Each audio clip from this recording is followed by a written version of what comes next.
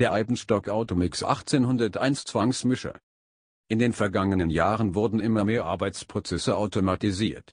So werden auch für das Vermischen von Baustoffen Maschinen benötigt. Für diesen Arbeitsvorgang benötigt man sogenannte Mischer. Die bekanntesten und beliebtesten Mischer sind die Zwangsmischer. Diese erfreuen sich großer Beliebtheit, nicht zuletzt auch aus dem Grund, dass sie im Vergleich zu den anderen Mischern das beste Mischergebnis erzielen.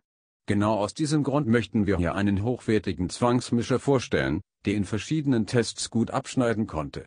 Es handelt sich dabei um den Zwangsmischer mit der Bezeichnung Eibenstock Automix 1801. Details zum genannten Produkt Den Eibenstock Zwangsmischer gibt es im Internet für einen Preis von 588 Euro, Stand 14. August 2016, zu kaufen. Als Anwender des gut verarbeiteten Mischers hat man lange etwas von der Maschine, was daran liegt, dass sie sehr langlebig ist.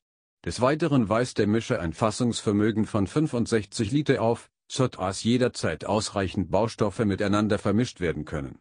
Beim Mischergebnis konnte der Zwangsmischer in verschiedenen Tests aus dem Internet besonders gut abschneiden.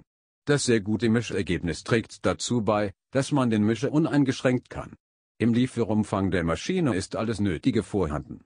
Im Übrigen hat der Hersteller großen Wert auf die Produktsicherheit gelegt, so dass man bei richtiger Anwendung keine Angst vor Arbeitsunfällen haben muss. Das ist unser Fazit. In fast allen Tests aus dem Internet konnte der Eibenstock Zwangsmischer auf ganzer Linie überzeugen. Positiv hervorheben lässt sich insbesondere das Mischergebnis. Letzteres ist von großer Bedeutung. Das Mischergebnis sagt am meisten darüber aus, ob man den entsprechenden Mischer kaufen sollte oder nicht.